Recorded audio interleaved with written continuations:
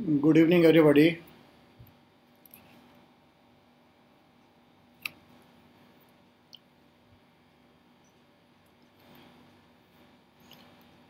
हाँ तो हम लोग शुरू करते हैं पहले लाइफ एंड साइंस कवर करेंगे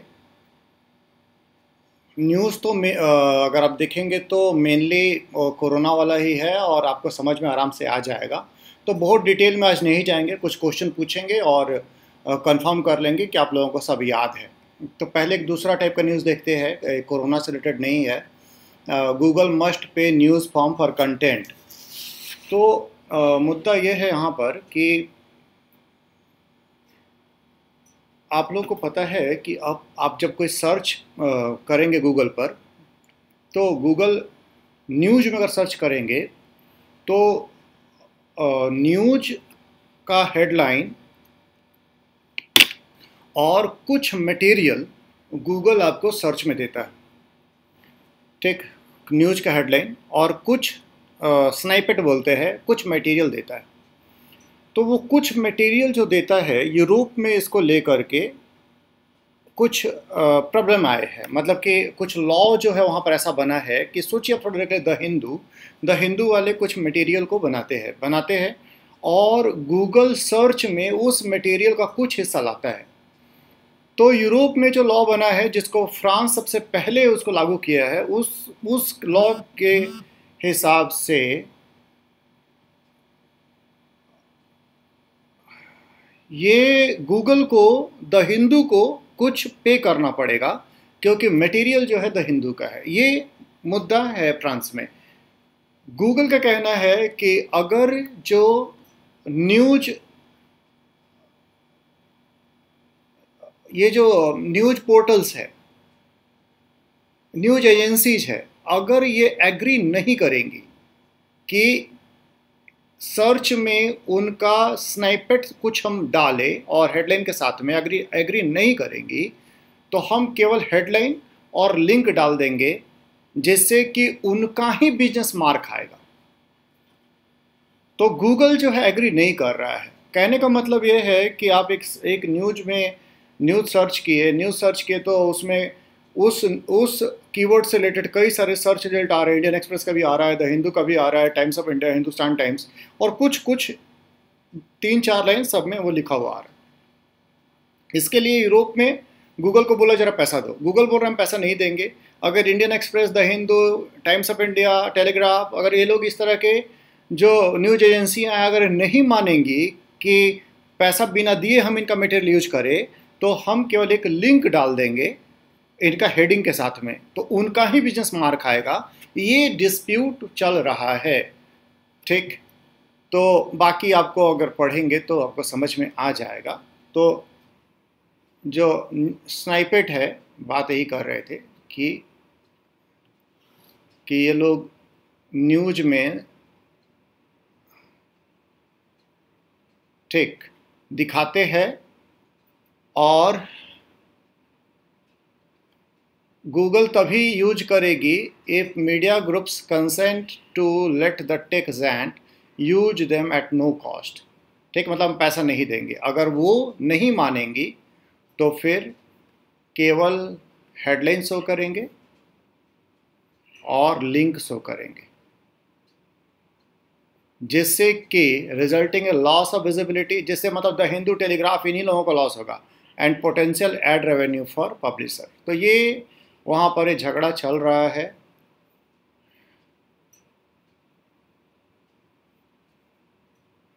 इसको जो लॉ है, इसको लॉ को पॉपुलरली नेबरहुड नेबरिंग राइट्स करके इस लॉ को बोलते हैं। ठीक, फ्रांस पहला कंट्री बना है इसका। आगे चले।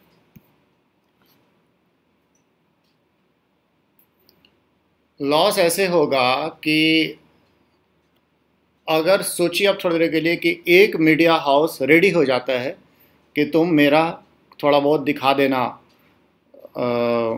कुछ तीन चार लाइन भी दिखा देना और कोई मीडिया हाउस नहीं रेडी होता है।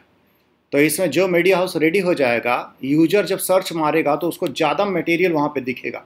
काम का चीज़ उसको लेकर यहाँ पे काम का चीज़ है। और वो क्लिक करके उस साइट में चल जाए। क्योंकि आप क्लिक करके तो आखिरकार द हिंदू इंडियन एक्सप्रेस इसी में जाएँगी। लेकिन अगर वो नहीं दिखाएगा डिटेल तो फिर लोग उसको क्लिक करेंगे जिसमें डिटेल आ रहा होगा। तो इसलिए बोल रहा है कि ये लॉस होगा। मीडिया हाउस को लॉस होगा।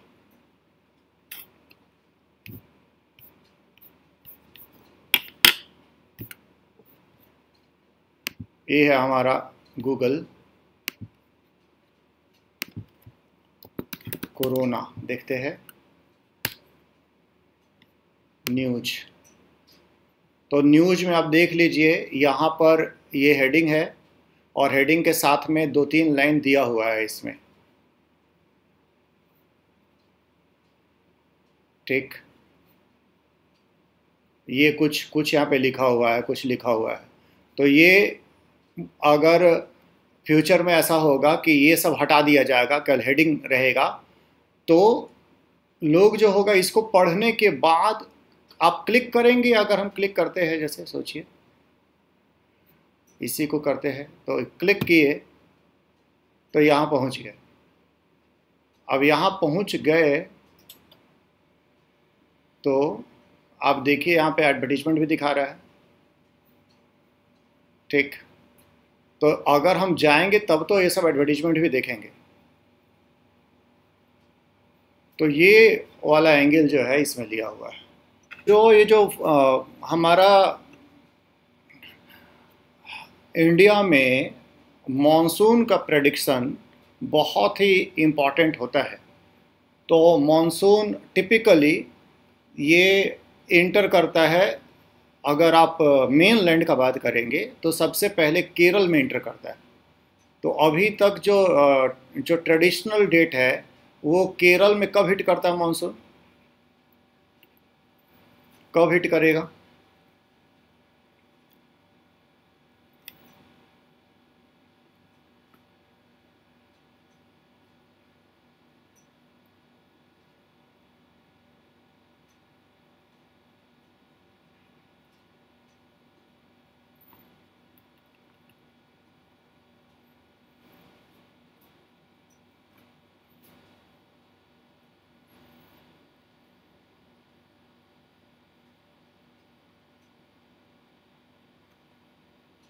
जो एक एक्सेप्टेड डेट है दैट इज़ फ़र्स्ट जून ठीक, इसको ही मतलब मोस्ट एक्सेप्टेड डेट मानते हैं, ये हमारा बेंचमार्क डेट यही है। ये तो मानसून जो आता है इंडिया में, उस मानसून को कौन सा मानसून बोलते हैं? इंडियन जो मानसून है, उसको कौन सा मानसून बोलते हैं? नहीं, वो टेंथ में के बाद जयश्री अगर आया ना, अगर इस बारिश तो उसको मानसून बोलते हैं, लेकिन एक्सेप्ट मतलब most frequent date first June ही है।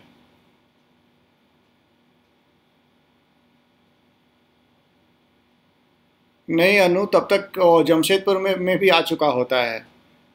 ट्वेंटी फ़र्स्ट जून आप बोल रहे हैं जयश्री जो डेट दे रही है, टेंथ में के बाद अगर आया तो उसको मानसून बोलते हैं।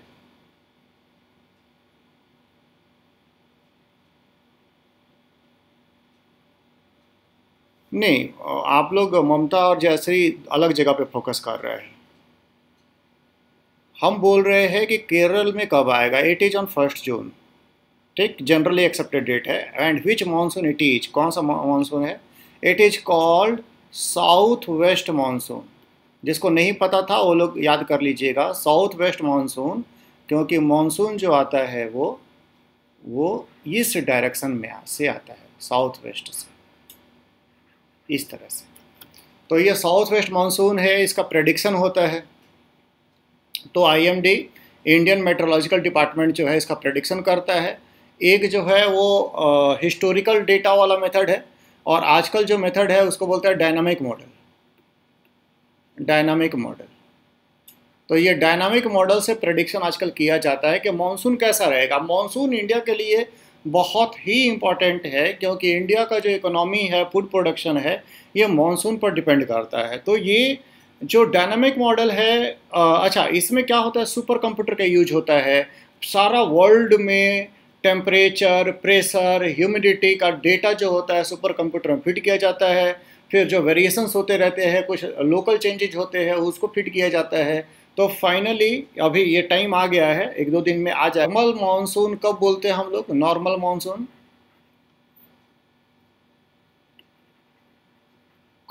किस मानसून को बोला जाता है नॉर्मल है? कितना बारिश होगा तो बोलेंगे नॉर्मल है।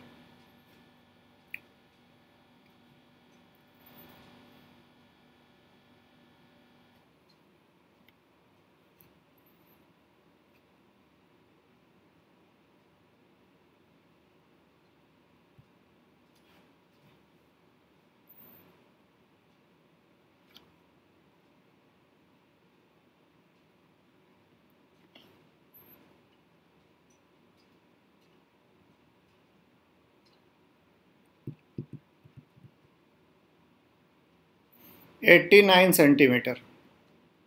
89 सेंटीमीटर जो बारिश होता है, इसको बोलते हैं नॉर्मल। और इसको बोलते हैं हम लोग लॉन्ग पीरियड एवरेज। ठीक? तो ये एक एवरेज मानसून का है, it is it is 89 centimetre, इसके बाद four percent up and down, इसको कंसिडर करते हैं, खैर। तो ये जो होगा, मानसून के बारे में प्रडिक्शन होता है, इससे कम होगा, ज़्यादा होगा लोकल डिस्ट्रीब्यूशन कैसा रहेगा, किस एरिया में ज़्यादा होगा, किस एरिया में कम होगा, सारा का सारा प्रडिक्शन होता है। प्रडिक्शन करने के लिए जो डेटा है हिस्टोरिकल डेटा भी सुपर कंप्यूटर में डालते हैं और साथ ही साथ कुछ डेटा ऐसे भी डालते हैं जो लगातार मिलते रहते हैं। जैसे सोचिए इंडिया से एक एरोप्लेन उड़ा एरोप्लेन उड़ करके अमेरिका गया। तो अमेरिका गया तो इस बीच में वो जो हाइट में सोचिए थ्री किलोमीटर अबव हो जा रहा है। तो उस हाइट में क्या प्रेशर है विंड का क्या स्पीड है, क्या टेम्परेचर है, क्या ह्यूमिडिटी है, वो सब भी डेटा को फ़ीड करते हैं। लेकिन इस बार क्या हुआ है कि सारे प्लेन तो बंद हो गए हैं। सारे प्लेन बंद हो गए तो इस बार हमारा इंडियन मेट्रोलॉजिकल डिपार्टमेंट को जो डेटा डायनामिक डेटा है, ये जो बदल, बदलता हुआ डेटा ये मिलेगा नहीं। मिलेगा नहीं तो ये लोग फिर पुराना मॉडल पे ही मानसून का प्रडिक्शन करेंगे। तो कोरोना का एक ये भी इफ़ेक्ट आ रहा है कि डेटा जो है, वो डेटा आईएमडी का जो वेदर सप्लाई का डेटा है, ये डेटा हिट हुआ है पार्शियली हिट ठीक?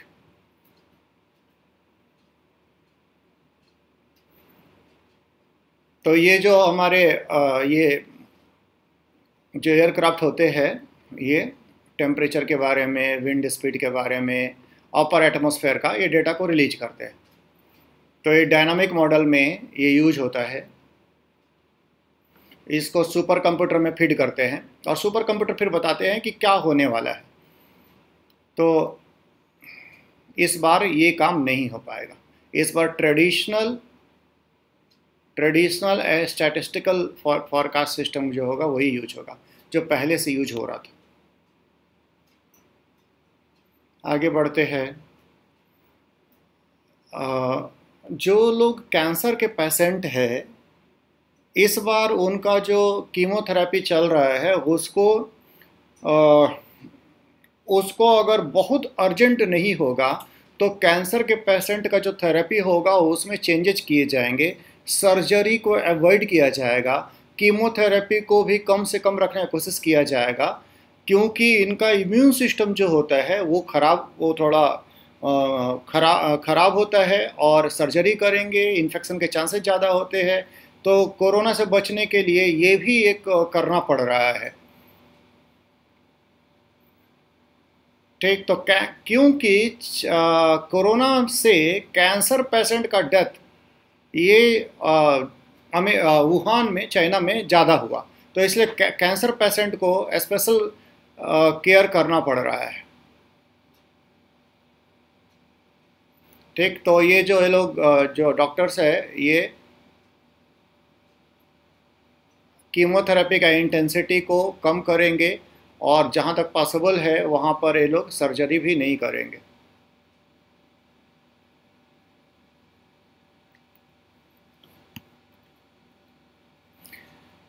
अब एक न्यूज़ है। हाँ खेत में काम करना तो अभी अलाउ किया है ना रवि का कटाई चल रहा है, नहीं तो फिर अगला अगला मतलब बाहर हम लोग खाना कैसे खाएँगे? तो वो वो खेत में अलाउ किया हुआ है अभी।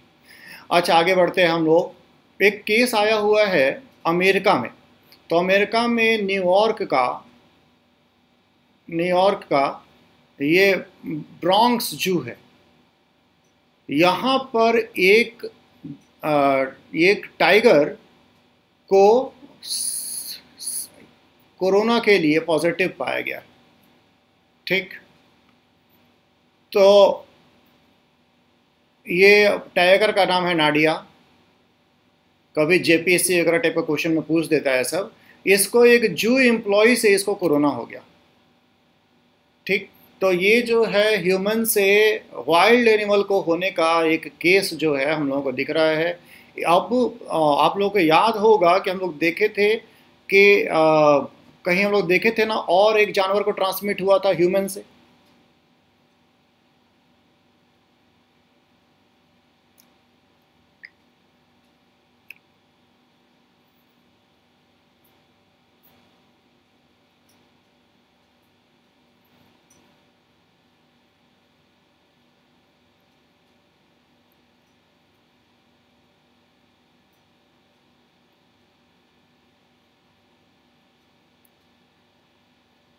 हाँ डॉग को हुआ था।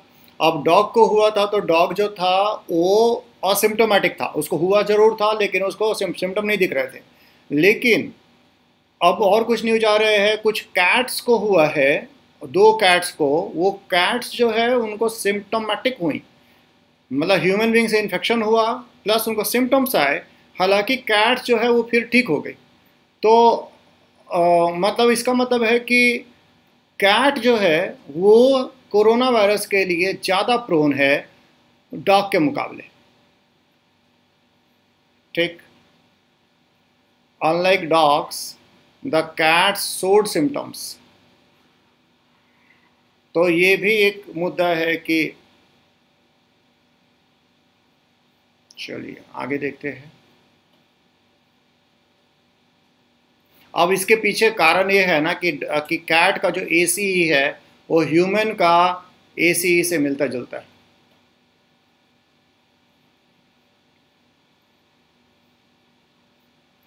तो अभी ये भी एडवाइजरी किया जा रहा है कि आप जब ह्यूमन टू एनिमल इसके लिए कोई टर्म ऐसा हमको याद नहीं आ रहा है ह्यूमन टू एनिमल का। आएगा तो देख लेंगे। ये न्यूज़ ऐसा नहीं आ रहा है एक्चुअली न्यूज़ रिवर्स आ रहा है। एनिमल टू यहाँ पर आ रहा है ह्यूमन टू एनिमल का भी फ़िलहाल आ रहा है। क्या इसमें फ़िलहाल ये सोशल डिस्टेंसिंग में ये एडवाइस किया है कि अपना पेट से भी थोड़ा दूरी बना करके रखिए। और ठीक अच्छा इंडिया में क्या हुआ कि इंडिया में जो पेंच टाइगर रिज़र्व है पेंच टाइगर रिज़र्व यहाँ पर एक टेन इयर्स का मेल टाइगर सांस का बीमारी से मर गया। और सांस की बीमारी से मर गया, उसके इतने सैंपल प्रिजर्व नहीं है फ़िलहाल कि हम कंफर्म होकर के बोल सके कि कि ये कोरोना से ही मरा है। बट उसको रेस्पायरेटली इलनेस था। जो कुछ भी उसका हम लोग बॉडी टिश्यू को प्रिजर्व करके रखे हैं, उसे कोशिश किया जा रहा पता करने का कि कि क्या इसका डेथ कोरोना से हुआ है, लेकिन एक एक क्वेश्चन इंडिया में अब उठने लगा है कि क्या वाइल्ड एनिमल्स इससे इन्फेक्ट होंगे। इसलिए क्वेश्चन उठाया खास करके वही जो हम ब्रोनॉक्स जू का बात किया।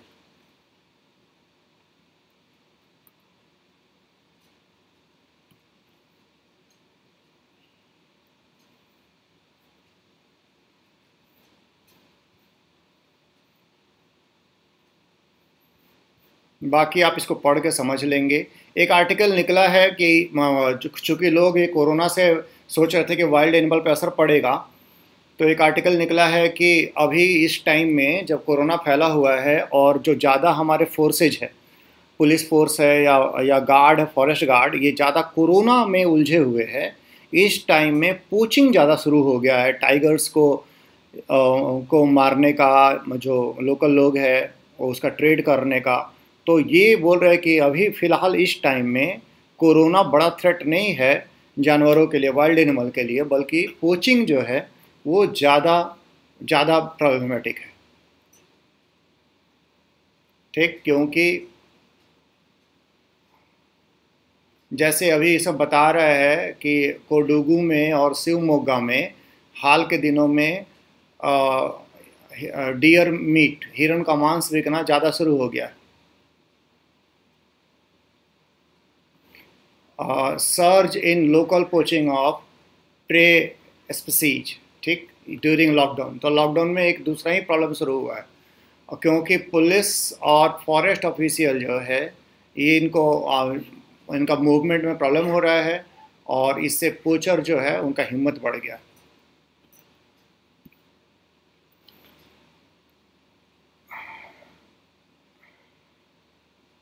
अच्छा।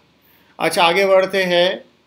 तो इसमें एक आर्टिकल निकला हुआ है कि लोग घर में रह, रहेंगे ज़्यादा तो उनको स्ट्रेस ज़्यादा होगा स्ट्रेस ज़्यादा होगा। तो कुछ लोग ज़्यादा खाना शुरू करेंगे, कुछ लोग कम खाना शुरू करेंगे। तो इसमें कुछ एडवाइस दिया हुआ है। कल ही हम बता रहे थे कि कुछ लोग कोल्ड ड्रिंक और चिप्स खाना भी शुरू करेंगे। तो स्ट्रेस जब ज़्यादा होता है तो लोग ज़्यादा कार्बोहाइड्रेट और जंक फ़ूड खाने का टेंडेंसी बढ़ जाता है। ये ये एक साइकोलॉजिकल फैक्टर है। तो stress has been known paper में कई बार निकलता है to make people incline towards rich foods food rich in carbohydrates and fats तो ये इसमें फिर लोगों का हेल्थ कंसर्न आएगा। तो इसमें एडवाइस किया हुआ है कि आ, मतलब इस बात का अगर आप ध्यान रखेंगे कि अब ज़्यादा खा सकते हैं कार्बोहाइड्रेट तो थोड़ा कंट्रोल हो जाएगा। और जो लोग खाना छोड़ने का टेंडेंसी है इस टाइम में घर में घर में रह के उनके लिए भी कुछ एडवाइस किया हुआ है कि उनको पानी ज़्यादा पीना चाहिए और और कुछ खाने के बारे में भी कुछ एडवाइस किया है। इसके अलावा ये बताया, घर में रह रहे हैं तो अपना वेंटिलेटर वगैरह जो है, वो खोल के रखिए और हवा आने दीजिए। आगे बात करते हैं। इंडिया में सबसे ज़्यादा व्हाट्सएप मैसेज फॉरवर्ड होते हैं। सबसे ज़्यादा। फॉरवर्ड करने का टेंडेंसी इंडियन लोग का यूनिक है। तो इंडिया में पहले शुरुआत में अब से दो तीन साल पुराना बात याद आ रहा है कि शायद ट्वेंटी फाइव लोगों को आप मैक्सिमम फॉरवर्ड कर सकते थे। उसके बाद देखा गया कि इंडियन लोग तो खाली फॉरवर्ड ही कर रहे हैं तो फिर फेक न्यूज़ काफ़ी बढ़ने लगा। तो फिर व्हाट्सएप क्या कि कि फाइव परसेंट से ज़्यादा आप नहीं फॉरवर्ड कर सकते हैं।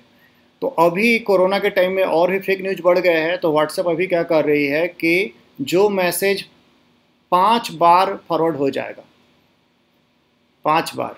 उसके बाद उसको एक ही पर्सन को आप फॉरवर्ड कर पाएँगे। यानी जो मैसेज ज़्यादा फॉरवर्ड होना शुरू हो गया उसमें एक बार में एक पर्सन को ही फॉरवर्ड कर पाएँगे। तो इस तरह से आ, ये पार्टिकुलरली फेक न्यूज़ को ये कंट्रोल करने का थोड़ा कोशिश किया गया। मतलब डिले करने का कंट्रोल क्या? डिले करने का। हम लोग बहुत पहले से पेपर में पढ़ रहे हैं कि फ्यूचर में ड्रग बनाना, किसी भी बीमारी का ड्रग बनाना बहुत ही फास्ट हो जाएगा। फास्ट इसलिए हो जाएगा कि आर्टिफिशियल इंटेलिजेंस लाखों मॉलिक्यूल्स में से वो मॉलिक्यूल को आइडेंटिफाई कर सकता है जो कि ड्रग कैंडिडेट हो सकते हैं।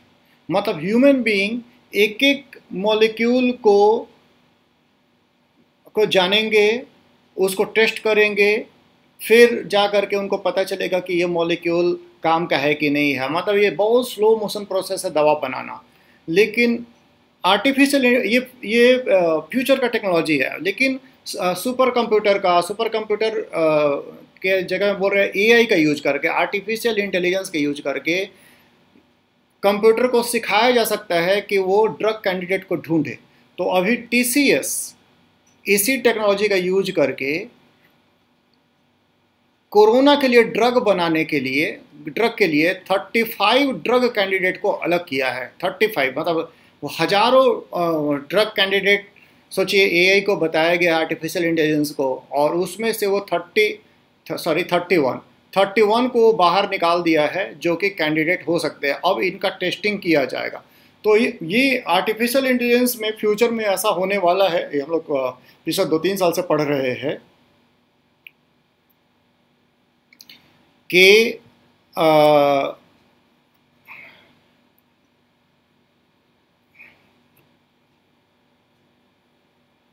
कि आर्टिफिशियल इंटेलिजेंस का यूज़ करके हम लोग ड्रग बनाने का प्रोसेस को बहुत ज़्यादा फास्ट कर सकते हैं। अच्छा हम लोग बात किए थे कि ड्रग जब बनाएँगे कोरोना का तो उसका स्पाइक प्रोटीन जो जा करके वो चिपक जाता है, हमारा एसी से एसी को डिस्ट्रॉय कर देता है और डिस्ट्रॉय कर देता है तो हम लोग अगर इसका स्पाइक प्रोटीन को कुछ डिस्ट्रॉय कर सके या इनहिबिट कर सके रोक सके इसको तो हमारा काम हो जाएगा। तो एक जो है कि हम लोग इस पे काम कर सकते हैं कि स्पाइक प्रोटीन को हम लोग इसका इनहिबिट कर दें। तो आ,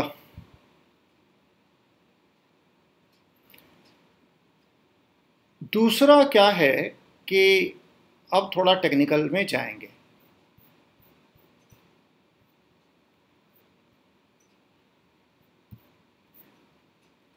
एक बार हम लोग याद करते हैं कि हमारा लंग्स का अल्वियोली में पहुँच गया। अल्वियोली का ये सेल है और आप याद कीजिए, ये ये ह्यूमन सेल था और ह्यूमन सेल में कोरोना जो है, ये कोरोना यहाँ से पहुँच चुका है। पहुँच चुका है इसका स्पाइक प्रोटीन स्पाइक प्रोटीन और यहाँ पर एसी तो ये खुल गया सेल और सेल के अंदर में घुस गया। सेल के अंदर में घुसने के बाद अच्छा ये क्या लेके आया है सर? इसके अंदर में क्या है? ये अंदर में क्या लेके आया है?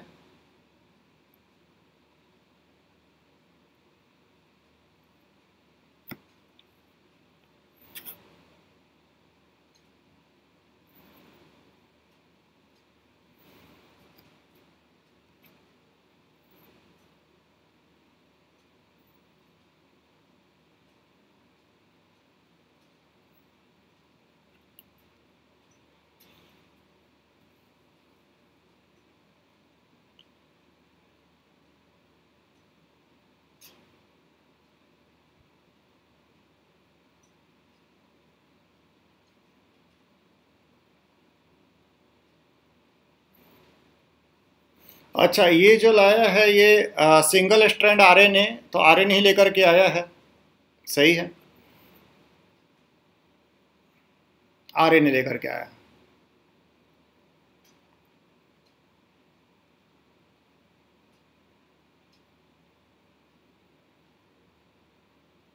नहीं नेहा बोल रही है एम आर एन ए नहीं ये आर एन ए लेकर के आया है। आर एन ए से एम आर एन ए निकलेगा। आर एन ए लेकर के आया एमआरएनए निकलेगा और एमआरएनए से फिर काम होगा। ठीक? तो ये ले करके आया हुआ है आरएनए। अब आर एन लेकर के आया हुआ है तो आरएनए से आगे आगे नया बात बता रहे हैं, सुनिएगा ध्यान से। आरएनए से क्या होगा कि प्रोटीन बनेगा। आपको पता ही है आरएनए से एमआरएनए बनेगा, एमआरएनए से एमआरएनए से प्रोटीन बनना शुरू करेगा।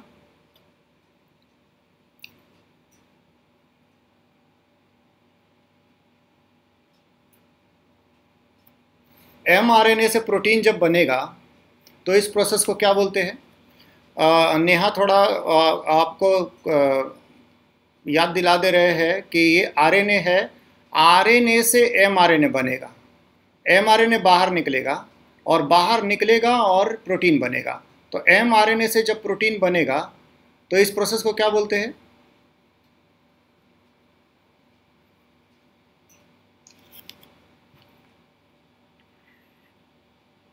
A U U C G G U U A ये है हमारा, उसका आर एन ए से यू बन जाएगा यू से ए बन जाएगा, ये बन जाएगा।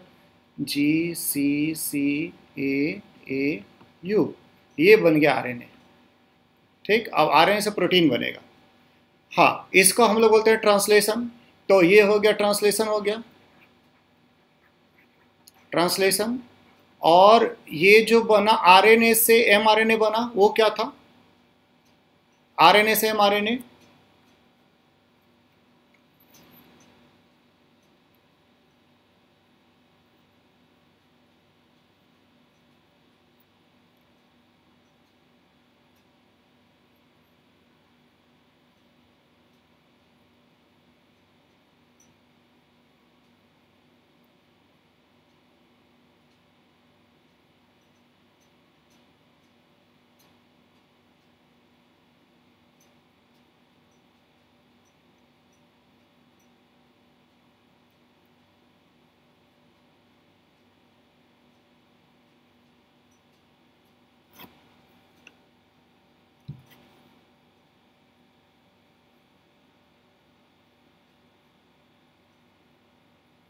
ट्रांसक्रिप्शन होगा।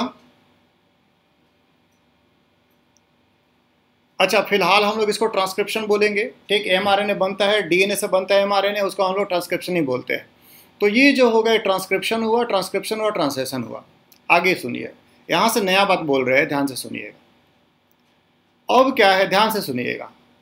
ये जो वायरस है, ये वायरस एक प्रोटीएज एक प्रोटीएज लेकर के लाया, ये लाया हुआ है, अपने साथ में, प्रोटीएज। तो आप लोग बताइए, ये प्रोटीएज है क्या? What is protease?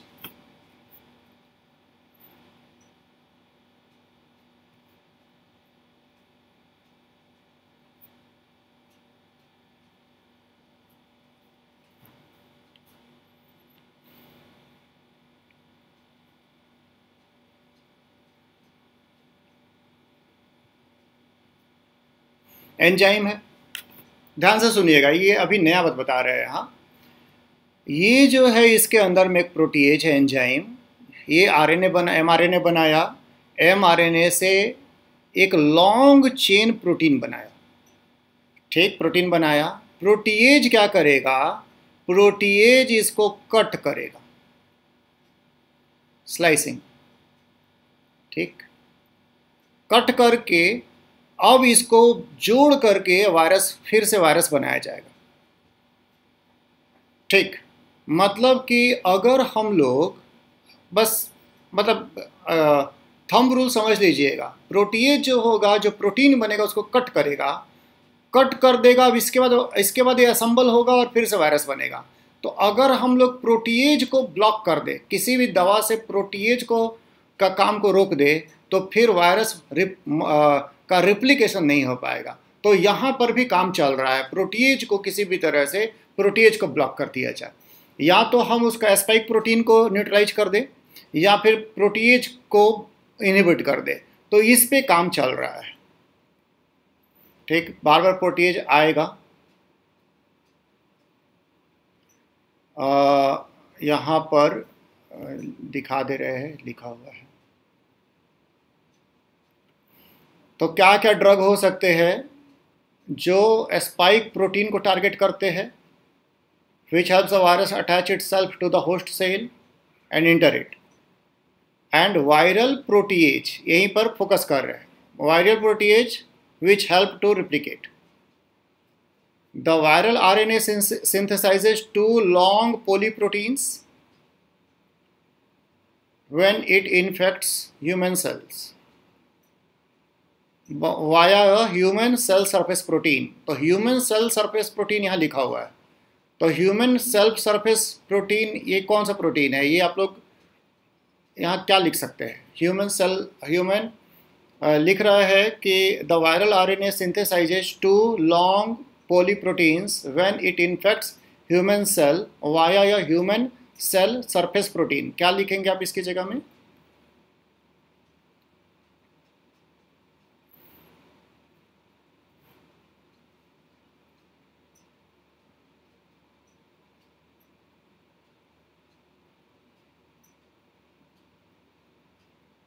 Yes, correct. It is ACE2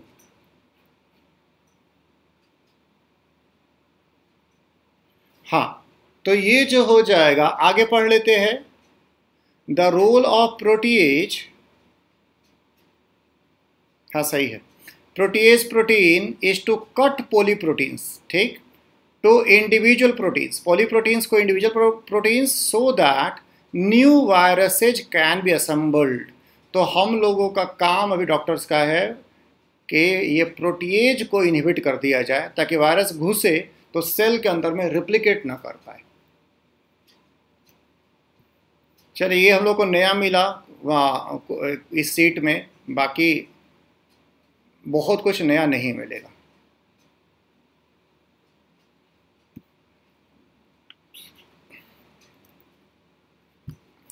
चलिए, आगे समझते हैं बात को। आगे बात यह है कि ये बहुत अजीब बात भी है। बता रहे अभी।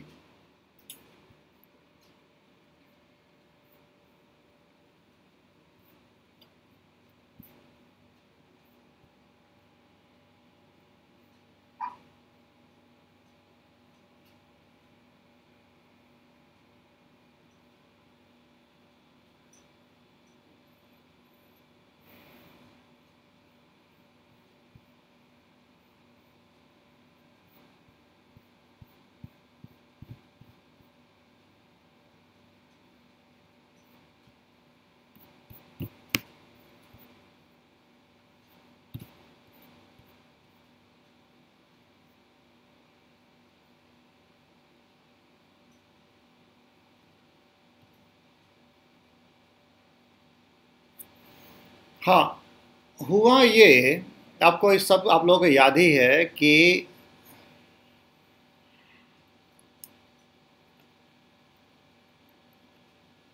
डोनाल्ड ट्रंप बड़ा इंटरेस्टिंग है लेकिन जो भी है मामला। डोनाल्ड ट्रंप बोले कि ये जो है, ये वंडर ड्रग हम लोग को मिल गया है हाइड्रोक्सी क्लोरोक्विन और एजिथ्रोमाइसिन एक एंटीबायोटिक है और एक एंटी मलेरियल ड्रग है। तो ये हम लोग को मिल गया है। अब ये वायरस अब ये वायरस गया। तो आ, इसके एनेक्डोटल एविडेंस थे लेकिन जो हमारा मॉडर्न साइंस चलता है मॉडर्न जो हमारा मेडिसिन मेडिकल साइंस है, वो एनेक्डोटल एविडेंस पे नहीं चलता है। थोड़ा सा डिटेल में बता रहे हैं।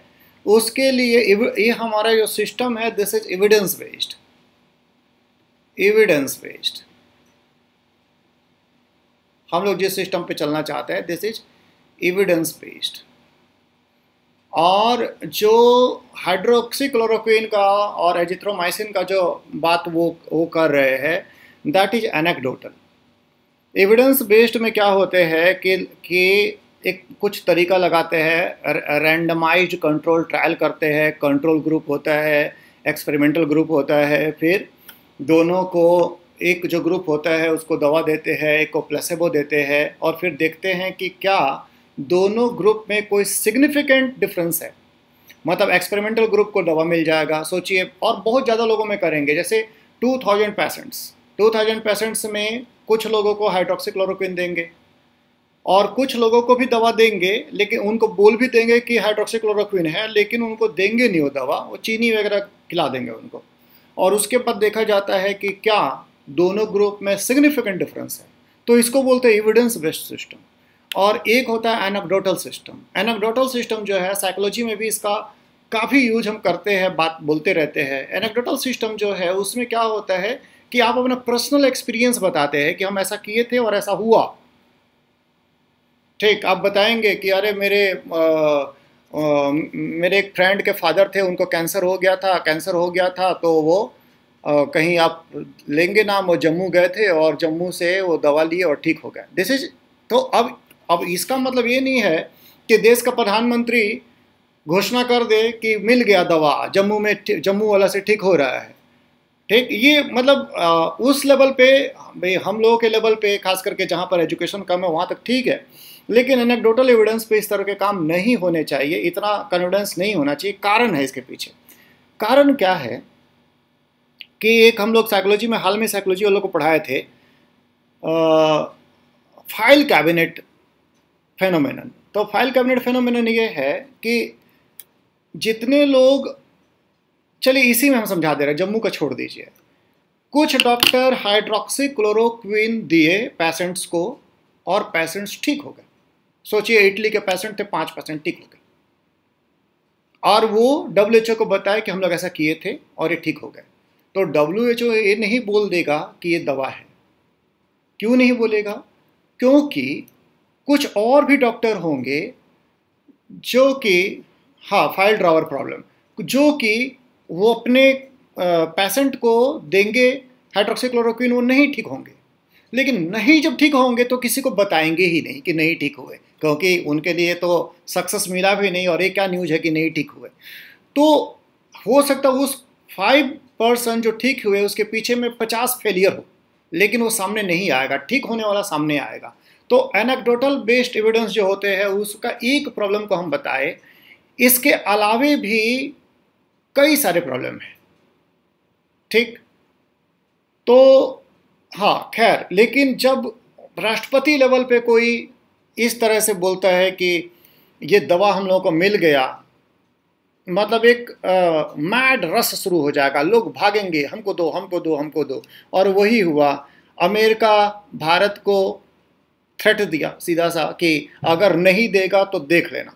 तो देख लेना तो हम लोग दवा देना शुरू कर दिए। पीछे पीछे ब्राज़ील भी मांगा, और भी लोग हम लोगों से मांग रहे हैं हाइड्रोक्सीक्लोरोकिन को, कि हम बहुत, हम लोग को बोला जाता है इंडिया को इट इज़ वर्ल्ड्स फार्मेसी तो लेकिन बोल, बातें कर रहे हैं कि अभी तक ये एविडेंस बेस्ड प्रूफ नहीं है कि ये दवा काम कर रहा है। ओनली एनेक्डोटल एविडेंस है, जिसको इमरजेंसी में खिलाने के लिए बोला जा रहा है, जबकि कोई रास्ता नहीं है तो दे दो। ऐसे भी मरना है तो बाई चांस ठीक हो गया, कुछ इस तरह से है।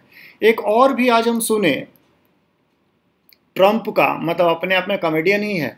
वो बोल रहे थे कि वायरस जो है, वो एंटीबायोटिक से ठीक नहीं हो रहा है और एंटीबायोटिक से ज़्यादा स्मार्ट हो गया है। तो हम एंटीबायोटिक बनाते हैं और वायरस स्मार्ट हो जाता है और एंटीबायोटिक काम नहीं करता है। तो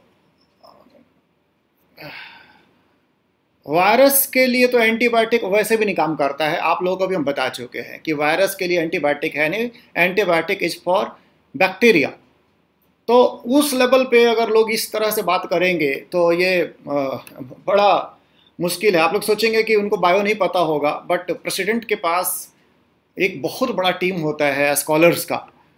और उसके बावजूद अगर गलत बोलेंगे तो ये मतलब हँसी वाला बात है। खैर एनी बात ये है कि सारा दुनिया में हाइड्रोक्स हाइड्रोक्सी क्लोरोक्विन जो था, उसका एक रस शुरू हो गया। जिसको जहाँ से मिल रहा है, वहीं से इसको जुगाड़ करना चाह रहा है। कुछ लोग इवन ऑनलाइन ऑर्डर भी दे रहे हैं कि बाई चांस बिना प्रेस्क्रिप्शन का भेज दे। तो गवर्नमेंट अभी क्या की है, इसको शेड्यूल एच में डाल दी है, जिससे कि हर बार दवा खरीदने के लिए नया प्रेस्क्रिप्शन का ज़रूरत पड़ेगा। मतलब वो सात दिन के अंदर का प्रेस्क्रिप्शन होना चाहिए। तो ये ताकि इसका होर्डिंग नहीं हो। तो बाकी न्यूज़ तो हम बता ही, दिए इंडिया को धमकी दिया गया था कि रिटेलिएट करेंगे। हाँ ये प्रॉब्लम आजकल दुनिया के बहुत सारे जो टॉप लीडरशिप है बोल्सानेरो बड़ा नोटोरियस हो गया इस इस बारे में। तो हैं ऐसे लोग? तो रिटेलिएशन का बात हो गया, बात कर ही लिए।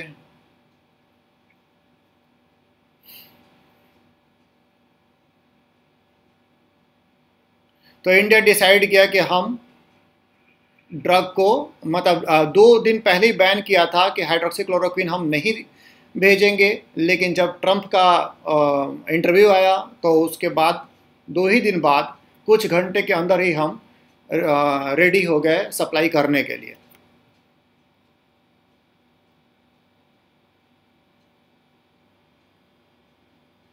देखिए, मिस्टर ट्रंप जो है, यही champion it as a treatment of COVID सोचिए, कोई ये डॉक्टर नहीं कर रहे हैं। ट्रंप बोल रहे हैं कि ये तो दवा काम का काम का है।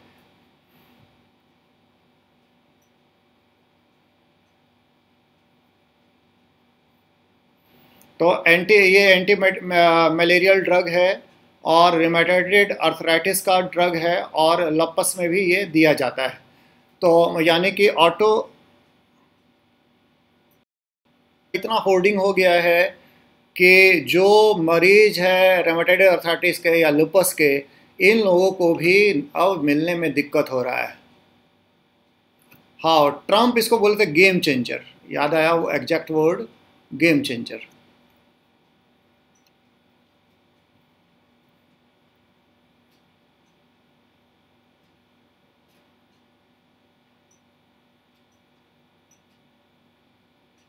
तो कुछ डॉक्टर बोल रहे हैं कि ये बहुत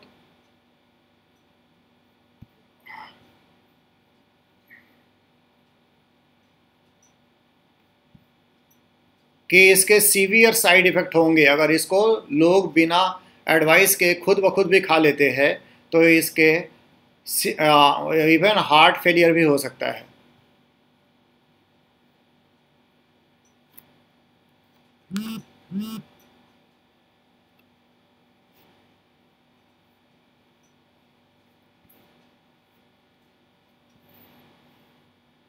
आजकल एक फेक न्यूज़ चल रहा है व्हाट्सएप पर कि इसको प्रफुल्ल चंद्र रॉय इस दवा के आविष्कारक है जो फेक न्यूज़ है। आप लोग फॉरवर्ड मत कर दीजिएगा कि इंडिया के प्रफुल्ल चंद्र राय इसको बनाए थे। ये ये बिल्कुल फेक न्यूज़ है। ठीक? आगे चले। आ, प्लाज्मा थेरेपी हमको बताने का अब ज़रूरत आज नहीं पड़ेगा। कॉन्वेसेलेंट प्लाज्मा थेरेपी तो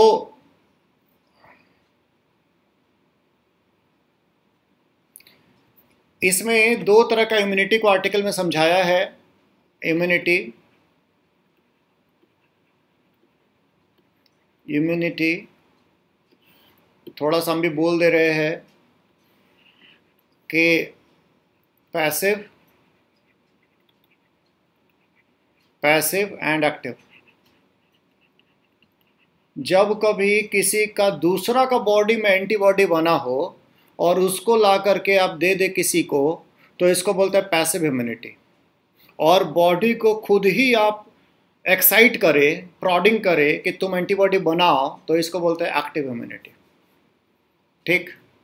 तो आप लोग बताइए कि कॉन्वासेलेंट जो प्लाज्मा थेरेपी है, वो पैसिव में आएगा या एक्टिव में आएगा?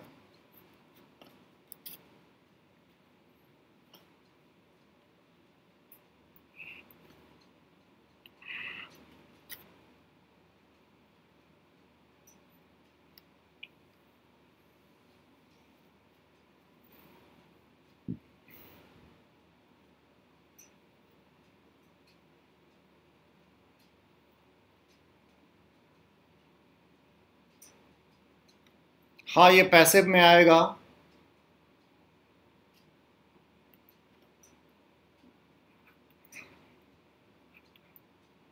कॉन्वासेलेंट प्लाज्मा थेरेपी ये पैसिव में आ जाएगा। एक्टिव में जैसे आ जाएगा पोलियो तो पोलियो में हम क्या करते हैं कि वायरस ही डाल देते हैं और बॉडी को प्रॉम्प्ट करते हैं कि तुम रिएक्ट करो। ठीक? अच्छा ये बात बताइए कि हम लोग कोरोना से रिलेटेड कोई एक्टिव इम्यूनिटी भी सोच रहे हैं क्या कि एक्टिव इम्यूनिटी दिला दे? पैसिव तो हो गया, कन्वर्सलेंट प्लाज्मा थेरापी। कोई एक्टिव भी हम लोग कर सकते हैं क्या? या कुछ अभी तक पढ़े कि जिसमें उसमें एक्टिव इम्यूनिटी की बात हो रहा था?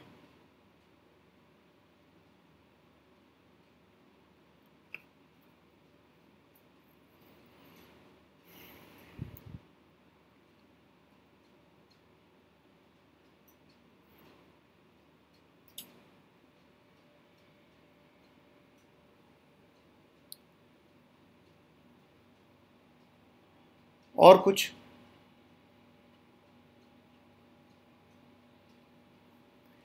इसमें हम लोग जो थेरेपी के नाम पर ले रहे थे हार्ड इम्यूनिटी तो खुद हो रहा था, वो तो एक्टिव है।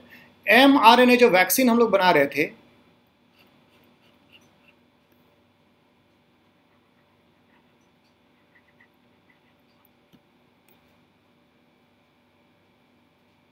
ठीक एम आर एन ए जो वैक्सीन बना रहे थे एम आर एन ए दे रहे थे। एमआरएन से क्या बन रहा था? एंटीजन बन रहा था। एंटीजन को बॉडी खुद डिटेक्ट कर रहा था और खुद एंटीबॉडीज बना रहा था। तो ये जो हो जाएगा, वो एक्टिव इम्यूनिटी में हो जाएगा। हम लोग कन्वासेलेंट में हाँ कन्वासेलेंट में हम लोग दूसरे का बॉडी से क्या क्या ले रहे हैं? दूसरे के बॉडी से? तो है, वो एक्टिव हो जाएगा।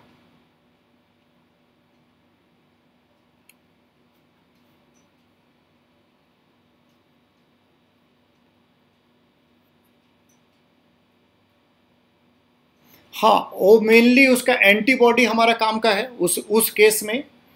तो हम लोग कॉन्वेसलेंट प्लाज्मा थेरेपी कर रहे हैं, दूसरे का बॉडी से सीरम ले रहे हैं, उसमें एंटीबॉडी है, और एंटीबॉडी जो हो रहेगा, ये दो तीन सप्ताह तक ये काम करेगा।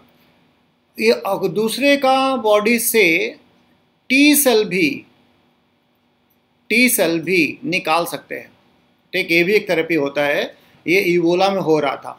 उसमें तो इसमें बोलते हैं whole blood therapy whole blood therapy में क्या होगा कि दूसरे का ब्लड निकालेंगे और ब्लड दे देंगे। जो ठीक हुआ है, उसका ब्लड निकाल के दे देंगे। तो उसमें एंटीबॉडी भी मिलेगा और प्लस टी सेल भी मिलेगा। टी सेल भी इम्यूनिटी को बढ़ाते हैं। तो ये भी मतलब आज हम लोग जो पढ़ रहे हैं, इसमें एक्स्ट्रा ये पढ़ ले रहे हैं कि कन्वासेलेंट प्लाज्मा थेरेपी में प्लाज्मा होगा, लेकिन एक होल ब्लड थेरेपी भी होता है। होल ब्लड थेरेपी में टी सेल पूरा ब्लड ही ट्रांसफ्यूज कर देंगे तो टी सेल जो होंगे वो काम करेंगे फिर। तो थोड़ा थोड़ा देखते हैं, हम लोग बात कर लिए एंटीबॉडीज का। ठीक? एंटीजन का बात कर लिए। मेमोरी सेल भी बनता है, कुछ सेल बन जाता है मेमोरी सेल पैसिव इम्यूनिटी बात कर लिए। डिप्थीरिया में पैसिव इम्यूनिटी होता है। ठीक? मतलब कि इसमें घोड़ा जो होता है, उसका प्लाज्मा निकाला जाता है। एक्टिव इम्यूनिटी, जैसे बीसीजी और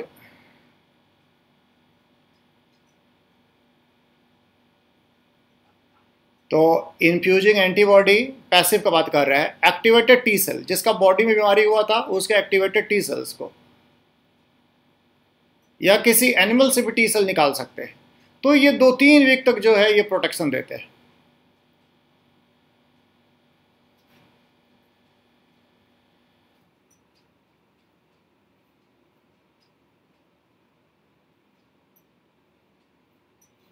ये बाकी आप पढ़ के समझ जाएँगे, बाकी तो हम पढ़ा ही चुके हैं। ये जो कॉन्वेसलेंट प्लाज्मा थेरेपी है, इसका शुरुआत इबोला से हुआ था। क्योंकि इबोला का कोई दवा नहीं था तो उसमें ये शुरू किए थे। अब बात ये है कि जमशेदपुर में भी आप लोग को पता चल गया होगा कि कोई भी अगर बिना मास्क लगाए हुए बाहर निकलेगा तो उसका ऊपर में एफआईआर होगा। तो मास्क अभी तो मेडिकल शॉप में मिल नहीं रहा है और ऑनलाइन में भी आप ऑर्डर देंगे तो काफ़ी टाइम लगेगा और काफ़ी महँगा होगा। तो फिर मास्क कैसे बनाया जाए, किस चीज़ का बनाया जाए, उसका एक आर्टिकल निकला हुआ है थ्री लेयर्ड मास्क का। इसमें कॉटन का यूज़ करने के लिए बोल रहा है और बोल रहा है कि मास्क कितना थिकनेस होना चाहिए, उसके लिए एक लाइट जलाइए उस कपड़ा का एक तरफ़ से और दूसरा तरफ़ अगर लाइट नहीं पहुँच पा रहा है, इसका मतलब मास्क ठीक है। तो कुछ इसमें मास्क बनाने से रिलेटेड मास्क बनाने से पहले उसको धो दीजिए कपड़ा को और कम से कम फाइव मिनट तक उसको बॉयल बॉइलिंग वाटर में डाल दीजिए। ये सब इसमें हमको समझाने का कुछ खास है नहीं तो आप इसको पढ़ लीजिएगा। हम पहली बात बोले कि इंडिया में जो लॉकडाउन है उसके बारे में भी निकला हुआ है कि लॉकडाउन जो है इससे ऐसा नहीं है कि ट्रांसमिशन का च, का जो साइकिल है ये टूटने वाला है। ये केवल ये बाइंग बाइंग टाइम कि कुछ दिन तक हम लोग को रिलीफ मिल जाए केसेस धीरे धीरे आए तब तक हम रेडी हो जाए और धीरे धीरे करके लोग लोग हॉस्पिटल पहुँचे। तो हम बात कर ही लिए थे कि इसको फ्लैटनिंग ऑफ़ कर्व इसके लिए टर्म यूज़ होता है। बाकी चूँकि सब पढ़ा चुके हैं तो हम इसमें नहीं रुक रहे हैं। अब फिर इसका बात कर रहा है कि आ, मास्क जब पहनेंगे तो कैसे क्लीन करेंगे क्या रीयूज करेंगे तो उसके लिए इसमें इसमें जो लिखा हुआ है आर्टिकल में कि आ, मास्क पहनेंगे तो जब भी वापस आएँगे तो उसको रस्सी से खोलेंगे। वो आ, मतलब ऐसे नहीं कि यहीं से निकाल दिया उसको जो आपके पास स्ट्रिंग है स्ट्रिंग से निकालिए और स्ट्रिंग से निकाल करके उसको बॉयल्ड वाटर में डालिए और प्रेफरेबली बॉयल्ड वाटर में नमक होना चाहिए या फिर साबुन पानी में डाल दीजिए उसको पाँच घंटा तक उसको सुखाना है या फिर उसको आयरन कर देना है फा, फाइव मिनट्स तक। तो ये सब वो रास्ता बताया हुआ है। तो ये सब तो खैर हमको मेरे बोलने लायक कुछ है नहीं इसमें। आप पढ़ लीजिएगा। एक गमोसा आसाम का एक गमछा होता है। आर्टिस्टिक भी होता है आ, कई बार डेकोरेटिव होता है। तो इसका जो फैब्रिक है, इसको जो बनाने वाले लोग हैं, आजकल इसका, चूँकि अब ये सब तो बिक्री बंद हो गया है तो इसका मास्क बना रहे हैं, गमोसा का। तो गमोसा बीहू नाम का एक फेस्टिवल होता है सब कल्चर में आ जाएगा। बीहू नाम का एक फेस्टिवल होता है आसाम में, उसमें लोग इसका यूज़ करते थे, बीहू में। लेकिन अब जो हो, इसका लोग मास्क बना रहे हैं। पढ़िएगा, लेकिन ये कल्चरल कल्चर से रिलेटेड है। एक आर्टिकल निकला हुआ है इसमें कि ये अभी तक इस वायरस को लेकर के साइंटिस्ट बहुत कुछ नहीं जानते हैं कि ट्रांसमिशन कब शुरू होता है। सोचिए कि किसी के बॉडी में कोरोना आया तो क्या वो तुरंत तो शुरू कर देगा ट्रांसमिशन? चांस कम है। चांस इसलिए कम है क्योंकि वायरस जो है अभी तो मल्टीप्लाई करेगा ना उसके बॉडी में। तो ये बात सामने आ रहा है कि एक दिन बाद से ट्रांसमिशन शुरू हो सकता है। ठीक, अभी केवल ये लोग आइडिया लगा रहे हैं। जो ज़्यादा कंफर्म बात ये है कि जिस दिन पेशेंट सिम्टोमेटिक होता है सिम्टोमेटिक होने में तो उसको 14 डेज़ भी रख सकते हैं। सिम्टोमेटिक का मतलब उसको खांसी आना शुरू हो जाएगा, बुखार चढ़ जाएगा। तो सिम्टोमेटिक होने के दो दिन पहले से ही कई लोग ट्रांसमिट कर रहे हैं। एक नया पॉइंट सामने आया है मतलब कि इसको बोलते हैं प्री सिम्टोमेटिक वायरस घुस चुका है। अभी सिम्टम्स आए नहीं है। ट्रांसमिशन शुरू हो गया है, उनको सिम्टम आएँगे दो दिन बाद। अगर सिम्टम आ गए होते ट्रांसमिशन से पहले तो वो अपना आइसोलेशन कर लेते और दूसरों को नहीं फैलाते। लेकिन प्रॉब्लम ये दिख रहा है कि प्री सिम्टोमेटिक भी ट्रांसमिशन हो रहा है। प्री सिम्टोमेटिक मतलब कि जब सिम्टम नहीं आएँगे, तब मतलब आने वाले हैं प्री सिम्टोमेटिक दो दिन में अब बुखार चढ़ेगा। लेकिन तब तक जिससे मिल रहा है उसको फैला रहा है। और इस कारण से प्रोबेबली ये काफ़ी तेज़ी से फैल रहा है। तो ये एक रिसर्च आर्टिकल जैसा है, पढ़िएगा। मतलब कि इस सेंस में कि हम लोग अभी कुछ खास बोल नहीं सकते बट एविडेंस कुछ कुछ इसमें दिया हुआ होगा। कोरोना वायरस कैसे हमारे लंग में घुसता है, इसके बारे में बताया हुआ है। आपको हम पहले ही बता चुके हैं कि कैसे घुसता है। आपका वायरस जो होगा वायरस जब नाक से मुँह से या आँख से अगर बॉडी में इंटर हो गया तब ये आ, पहले अपर रिस्पायरेटरी ट्रैक्ट में कहीं जा करके किसी सेल को इन्फेक्ट करेगा। ठीक खांसी वगैरह आना शुरू हो जाएगा। और वहाँ से हो सकता है ये अलवियोली तक चल जाए। और अलवियोली तक अगर पहुँच गया तो अलवियोली को ड्राइंग बना ही हुआ है। अलवियोली तक पहुँच गया तो वायरस जो होगा अलवियोली का सेल में घुसेगा और घुस करके उसको इन्फेक्ट करेगा। इन्फेक्ट करेगा तो जो कफ होगा वो, उसका प्रोडक्शन शुरू होगा और अगर अल्वियोली डिस्ट्रॉय होना शुरू हो गया तो फिर निमोनिया बोलेंगे कि निमोनिया हो गया है। तो निमोनिया हो गया है चूँकि ये वायरल निमोनिया है, इसलिए एंटीबायोटिक से नहीं ठीक होगा। अब अगर अल्वियोली में इन्फेक्शन होगा तो लोग सांस लेंगे तो ऑक्सीजन जो होगा वो ज़्यादा नहीं जा पाएगा सफिशियंट मतलब अगर ये हम यहाँ से सिंपल ड्राइंग में रख रहे हैं, यहाँ से सांस ले रहे हैं, यहाँ पे हमारा लंग्स है तो यहाँ से ऑक्सीजन यहाँ जाना चाहिए था ब्लड में. लेकिन यहाँ के सैक्स अगर ख़राब हो जाएँगे तो ऑक्सीजन ज़्यादा नहीं जाएगा तो लोगों को ज़्यादा मेहनत करना पड़ेगा ऑक्सीजन को पहुँचाने के लिए.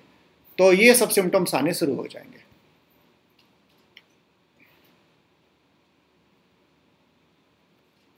Take pneumonia as a result of COVID is viral pneumonia, which means it can't be treated with antibiotic. ये ट्रंप वाला बात आ गया यहाँ पर। आगे बात करते हैं। आगे बात करते हैं कि आ, कुछ लोग इस उम्मीद में बैठे हुए हैं कि गर्मी के साथ में वायरस ख़त्म हो जाएगा। इसको ले करके भी हमारा जो साइंटिफिक कम्युनिटी है वो यूनानिमस नहीं है कि क्या होगा। तो डब्ल्यू एच ओ बोल रहा है कि अभी तक ऐसा एविडेंस नहीं है कि ये ख़त्म हो जाएगा। आई सी एम आर भी वैसा ही बोल रहा है। बाकी जो एविडेंस कुछ कुछ ऐसे मिल रहे हैं कि ट्रॉपिकल जो कंट्री है जैसे इंडोनेशिया में आ, बता रहे हैं। था, मलेशिया थाईलैंड फिलीपींस कंबोडिया में उतना तेज़ी से नहीं फैला। ये जो है ट्रॉपिकल कंट्री है गर्मी ज़्यादा पड़ता है और इनका हेल्थ का सिस्टम भी वैसा कोई बहुत अच्छा नहीं है। तो एक हो सकता है कि हाँ गर्मी में आ, या ज़्यादा ह्यूमिडिटी और ज़्यादा गर्मी के टाइम में ये वायरस ख़त्म हो जाए। लेकिन अभी मतलब कुछ इसमें एक्चुअली डिस्कशन है कि क्या क्या पॉसिबिलिटीज़ है। आगे बढ़ते हैं। आ, आज एक और भी न्यूज़ देखे थे और ये भी न्यूज़ मिला के एक साथ बोल दे रहे हैं। श्रीलंका में ऐसा बोला है कि जो कोई भी कोरोना से डेथ होगा जिसका उसको जलाया जाएगा चाहे वो किसी भी रिलीजन का हो। और बॉम्बे में भी जो म्यूनिसिपल कॉरपोरेशन है वही एक नोटिस निकाली है कि आ, लोगों का क्रीमेशन किया जाएगा उनको दफनाया नहीं जाएगा। बुरियल तभी किया जाएगा, वो बॉम्बे का जो ऑर्डर है, जबकि बहुत बड़ा ग्राउंड अवेलेबल हो बुरियल के लिए। छोटे जगह में बुरियल नहीं किया जाएगा। तो ये न्यूज़ है। हम पहले भी एक बार आप लोगों को बताया थे कि डब्ल्यू का प्रेफरेंस जो है, वो क्रीमेशन को लेकर के है, जलाने को लेकर के है। बुरियल से लोग आसपास के लोग एक्चुअली आज भी रांची में भी केस देखे थे कि दफनाने के लिए लोग जग, मतलब बिल्कुल रेडी ही नहीं थे कि हम नहीं दफनाने देंगे। हालाँकि दफनाने से इन्फेक्शन के मिट्टी के थ्रू और लोगों को फैलने का अभी तक कोई भी एविडेंस नहीं है कोई भी एविडेंस नहीं है। ठीक? लेकिन अगर सेफ्टी पॉइंट ऑफ़ व्यू लेंगे तो ये क्रिमेशन जो है, वो फिर भी सेफ़ है। तो इसके बारे में भी एक आर्टिकल निकला हुआ है।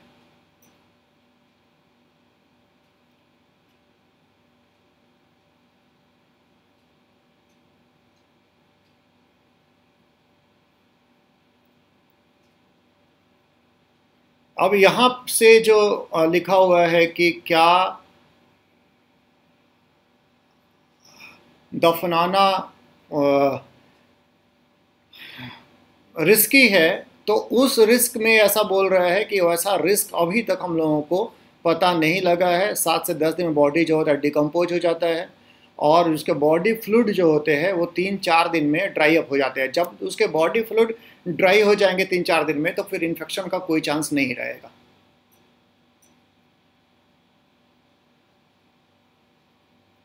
आगे बढ़ते हैं हम लोग।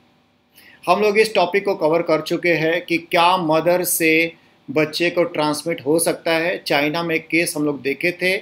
इसमें भी केवल डिस्कशन है फाइनल वर्ड नहीं है। जिसका ट्रांसमिशन होता है, वो जीका का इबोला का और मारबर्ग वायरस का होता है। सार, इसके बारे में सार्स कोरोना के बारे में हम कुछ अभी नहीं बोल पाएँगे कि कि होता है या नहीं होता है। एक एविडेंस चाइना का है सिंगल एविडेंस हम बता ही दिए कि ये जो लॉकडाउन है, इस लॉकडाउन से ये चेन नहीं टूटेगा, केवल टाइम बचेगा हमारा। मतलब ये टाइम थोड़ा आगे बढ़ जाएगा इन्फेक्शन का।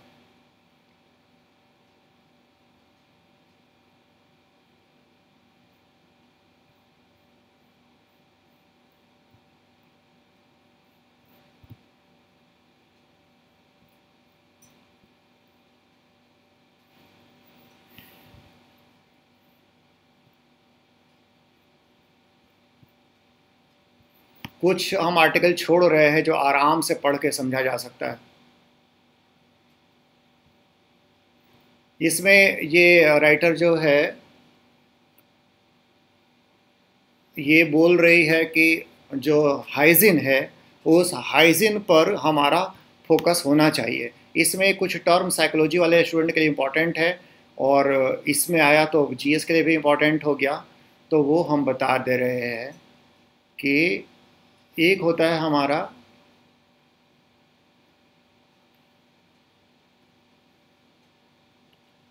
एक होता है हमारा प्राइमरी प्रिवेंशन प्राइमरी प्रिवेंशन बोलते हैं, जब हम लोग ऐसे एक्शन लेते हैं, जब बीमारी को हम लोग होने ही नहीं देंगे। दिस इज़ प्राइमरी प्रिवेंशन ठीक तो जैसे हाथ धोने, धोना हो गया सैनि सैनिटाइजर का यूज़ करना हो गया, ये सब हो गया हमारा प्राइमरी प्रिवेंशन जिसमें हम, इससे क्या होगा हेल्थ सिस्टम पर प्रेशर नहीं पड़ता है, पहली रोक देते हैं। दूसरा बात क्या है कि मतलब बीमारी होने नहीं देंगे this is called primary prevention बीमारी हो गया तो तुरंत पकड़ लेंगे अर्ली डिटेक्शन और prompt treatment this is called secondary prevention दो, तीनों में नाम प्रिवेंशन ही है इट इज़ सेकेंडरी प्रिवेंशन मतलब बीमारी को बढ़ने नहीं देंगे। ये हो गया सेकेंडरी और लास्ट लेवल जो होता है, वो होता है टर्सियरी तो टर्सियरी जो प्रिवेंशन होता है, उसमें क्या करते हैं कि जो लोग बीमार थे, उनसे जो डिसेबिलिटी हो गया है, उस कारण उसको हम लोग रिहेबिलिटेट करते हैं. सोचिए अब जैसे लिप्रेसी में क्या होता है, हाथ वगैरह के उंगलियाँ खराब हो जाती है तो उनको कैसे रिहेबिलिटेट करेंगे, कैसे काम लायक उनका जीवन को, उसके बाद आप कैसे ठीक कर, बनाए रखेंगे तो डिसेबिलिटी लिमिटेशन एंड रिहेबिलिटेशन इसको हम लोग बोलते हैं टर्सियरी प्रिवेंशन तो हम किसी भी कंट्री में सेकेंडरी प्रिवेंशन और टर्सियरी प्रिवेंशन इस पे ज़्यादा फोकस रहता है। डॉक्टरों का भी वहीं पे फोकस रहता है, लेकिन ये राइटर बोल रही है कि हम लोगों को प्राइमरी प्रिवेंशन पे काम करना चाहिए कम्युनिटी लाइफ कैसा होना चाहिए। जैसे अभी बहुत जगह में स्पिटिंग पे कफिंग और थूकने पर कुछ जुर्माना लगा दिया है। तो ये जो तरीके हो सकते हैं, या आप घर से बाहर गए और घर से बाहर आते ही सबसे पहले हाथ धोए। तो ये ये जो हो जाएगा, ये हाइजेनिक बिहेवियर जो होगा, प्राइमरी प्रिवेंशन में होगा तो उसके बारे में बात की है कि कोरोना आने के बाद हमको कम से कम प्राइमरी प्रिवेंशन पर ज़्यादा ध्यान देना चाहिए।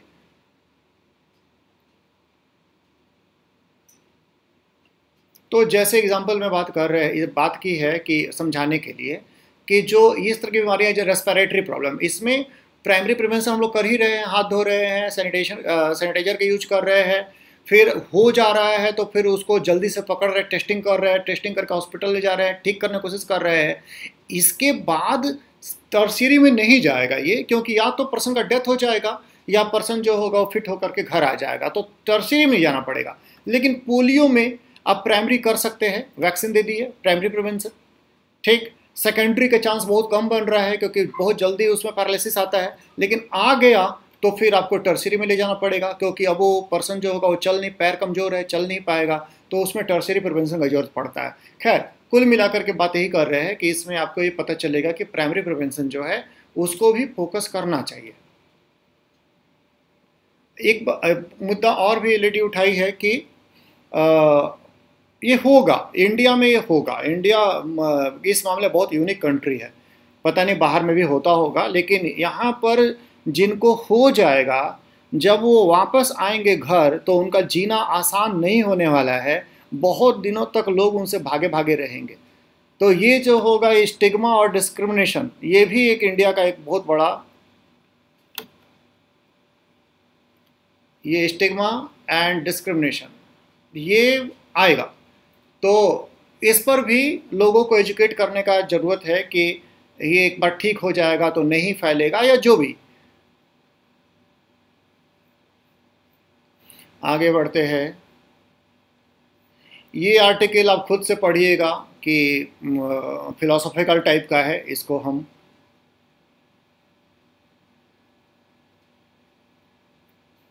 छोड़ रहे हैं।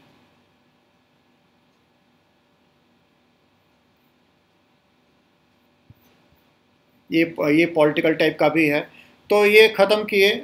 एक क्वेश्चन अभिषेक पूछा था पिछला क्लास से, वो हम बता दे रहे हैं कि कोई भी कंट्री आप सोचिए दिस इज़ कंट्री ये कंट्री जब लोन लेती है लोन तो लोन लेगी जब तो हो सकता है कि देश के लोगों से से लोन ले तो इसको बोलेंगे इंटरनल डेप्ट इंटरनल डेप्ट और ये हो सकता है कि ये बाहर में, ब्रिटेन में जा करके बॉन्ड बेच दे तो उसको बोलेंगे एक्सटर्नल डेप्ट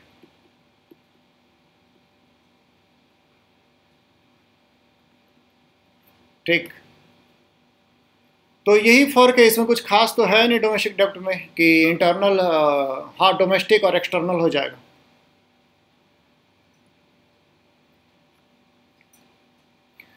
किसी को कुछ और पूछना है?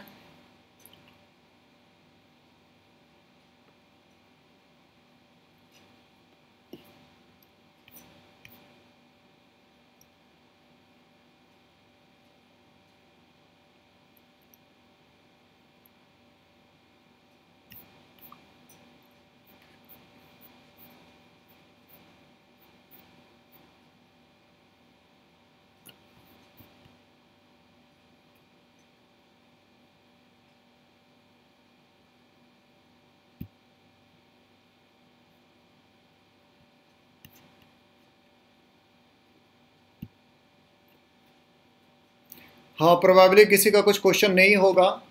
तो अभी हम सीट आप लोगों को भेज दे रहे हैं और कल हम सोच रहे हैं कि करंट अफेयर्स का क्लास नहीं रखे। कल आ, कल रखेंगे क्लास साइकोलॉजी का। कोरोना कोरोना के बहुत ज़्यादा कितना पढ़ेंगे तो थोड़ा सा चेंज भी हो जाएगा। और फिर परसों से हम लोग फिर कंटिन्यू करेंगे करंट अफेयर्स तो अभी क्लोज कर रहे हैं।